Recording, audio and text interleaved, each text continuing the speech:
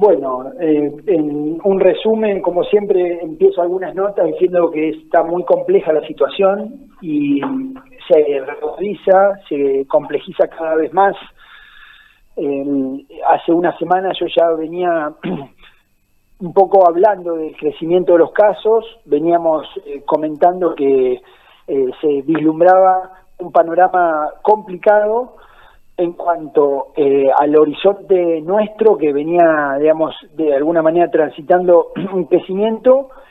eh, y es marcado en, una regionalidad, por así decirlo, a nivel país. La situación en los lugares eh, nuevamente grandes, en las ciudades grandes, comenzó a activarse muy fuertemente en todo el país, lo mismo que sucedió el año pasado Así que nosotros estamos eh, en, una situación de plena actividad de la epidemia, con crecimiento sostenido ya desde hace un mes, o sea, desde diciembre que comenzamos con circulación, eh, nunca paramos de tener casos a un nivel muy alto, a un promedio de 50 casos por día, con semanas, eh, digamos, en donde el promedio era mayor, otras eh, un poquito menor, pero rondábamos en los 50 casos eh, diarios en nuestra región, la mitad aportados por la localidad de Esquel, muy activa, 30 casos, 40 casos por día, y mm, el resto de los casos eh, por el resto del área programática. Bien. Hubo, un momento en donde realmente vimos hace tres semanas un gran crecimiento acá en la ciudad, que llevó bueno a hacer muchas cantidades de casos de fallecidos y tuvimos que hacer un cruce de información porque teníamos un fuentes de información en donde no se estaban denunciando los casos que se que fallecían en, en algunos en domicilio a causa del coronavirus. Fue así que en la última semana hicimos como eh, una revisión de todos los casos fallecidos y había 20 casos en, en, el último tiempo, desde ya hace dos meses o tres, que habían fallecido de coronavirus y no habían sido denunciados. Entonces la semana pasada saltamos de 80 a 82 casos que teníamos a 102 casos, 20 casos nuevos, 19 fueron, y, bueno, hoy ya estamos en las 105 eh, personas fallecidas, con la actividad que, mencionábamos, 30, 40 casos en la localidad de Esquel diarios, como mínimo, porque es lo que se, la capacidad de testeo, si hubiera más bocas de testeo, más capacidad, tal vez y la gente concurriría por los síntomas y no se deja estar, seguramente estos fueran eh, por lo menos eh, un 40-50% más de casos, al menos, ¿no? Es lo que uno estima, que hay un eh, una subnotificación de, casos. Por lo tanto, eh, la situación realmente es complicada. El, panorama, eh, digamos, si uno lo, ve comparado con, otros lugares, estamos con, definidos por una alta circulación del virus. ¿no? Cuando uno toma a nivel país y ve qué localidades o departamentos tienen esta situación epidemiológica, bueno, son los que tienen alta circulación del virus. Eh, nos está tocando a nosotros transitando eh, por el medio de la campaña de vacunación.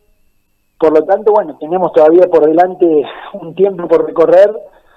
que hay que mucho por vacunar, mucho por cuidarse, y la verdad es que, bueno, eh, es, es compleja la situación, en resumen. Sí, nosotros siempre lo, lo advertimos, que si no se continuaban con determinadas eh, medidas de, control, de control digo de todo tipo, no solo de,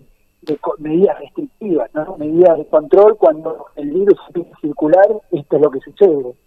Gran cantidad de personas eh, fallecidas que no se saben dónde aparecen porque ni siquiera llegan a un diagnóstico,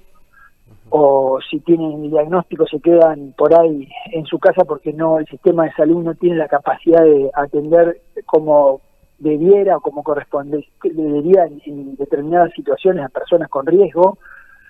y termina pasando esto. Entonces siempre nosotros vimos esta amenaza de la situación. Obviamente que es muy difícil sostenerlo porque, como vos bien decías, eh, parecía una burbuja porque tomábamos medidas muy firmes en cuanto a, eh, al control, sobre todo de las personas que ingresaban. Sabíamos que las personas que estaban en nuestra región eh, estaban en una zona libre de circulación y las personas que salían de esa región y volvían a entrar, se le hacía un control bastante estricto. Cuando eso se dejó de hacer eh, y el virus comenzó a circular, eh, la única situación que nos quedaba era que cada persona se cuide y eso no fue tan bueno, digamos, porque la población, digamos, de alguna manera no no tiene un hábito de, de autocuidado importante, ¿sí? O sea, en general hablamos. Claro. Por lo tanto, cuando el virus comenzó a circular, que no se pudo controlar más eh, lo externo, vaya a decir, todo lo que ingresaba eh, portando el virus a nuestra región,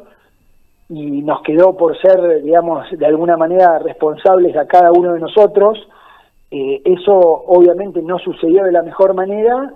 y se perpetúan los contagios, que es algo lógico, si uno no se cuida y el virus está circulando, eh, se sigue dispersando en nuestra comunidad.